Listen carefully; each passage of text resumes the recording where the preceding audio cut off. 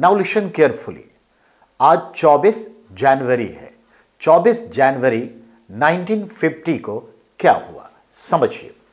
24 जनवरी 1950 को संविधान सभा से जुड़े तमाम जो सदस्यगण थे, वो एक जगह इकट्ठा हुए, समवेत हुए गैदर्ड हुए। और संविधान के संदर्भ में कुछ बातें की। पहले तो राष्ट्रीय गान। और राष्ट्रीय गीत। राष्ट्रीय गान जनगण मन अधिनायक जय है और राष्ट्रीय गीत वंदे मातरम। इन दोनों को राष्ट्रीय गान और गीत के रूप में स्वीकृति प्रदान की ये सदस्यगण आज ही।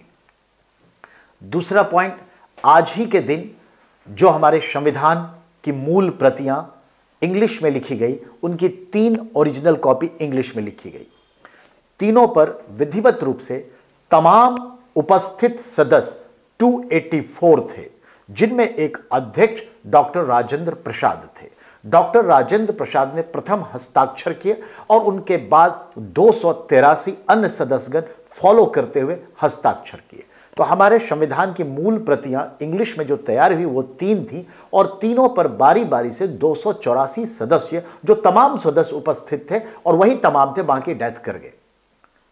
नहीं थे। तो इतने लोगों ने हस्ताक्षर किए। तथा और क्या हुआ? इसी 24 जनवरी को संविधान सभा के सदस्य ने राष्ट्रपति के रूप में डॉक्टर राजेंद्र प्रसाद, उपराष्ट्रपति के रूप में डॉक्टर सर्वपल्ली राधाकृष्णन का चयन किया। चयन किया, नियुक्त होंगे, यानी नॉमिनेट तो नहीं होता, नियुक्ति तो होती नहीं, शपथ लेंगे। तो वो 26 जनवरी 1950 को।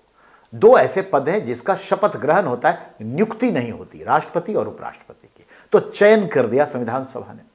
और फिर संविधान सभा उसी दिन भंग हो गई डिजॉल्व हो गई।